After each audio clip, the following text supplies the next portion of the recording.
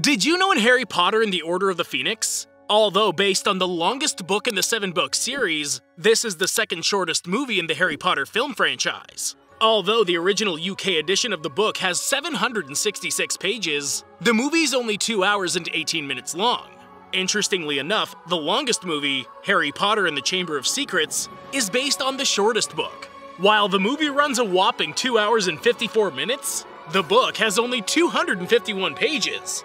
But